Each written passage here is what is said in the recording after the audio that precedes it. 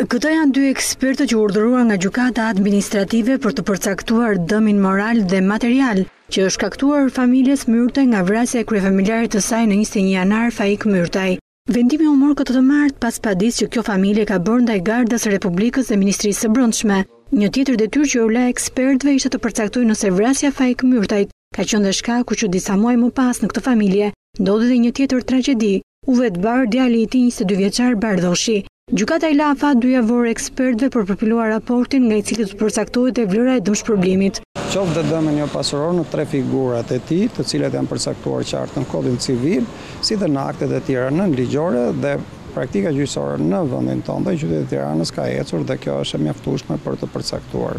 Do shikohen gjithë dokumentacioni, sepse unë nuk mund të shprehem për diçka që s'kam marrë as letrat, asgjë. Por të pranishëm në gjykim përfaqësuesit e Gardës kërkuan që familjarët duhet t'ia kërkojnë dëmshpërblimin autorit të vrasjes, i cili sipas vendimit të gjykatës është komandanti i Gardës Ndrea Prendi dhe Ministrisë së Brendshme që është institucioni që e ka punësuar. Por sipas avokatit të familjarëve të familjes Myrtaj, kjo kërkesë nuk qëndron.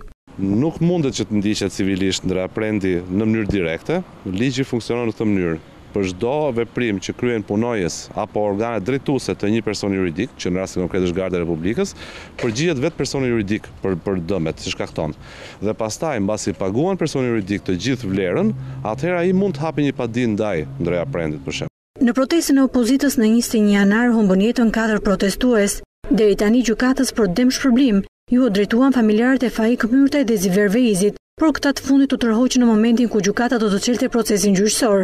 Garda e Republikës dhe Avokatura e Shtetit kanë kërkuar që kjo padi të rrëzohet, me argumentin se Garda nuk është fajtore në vrasje.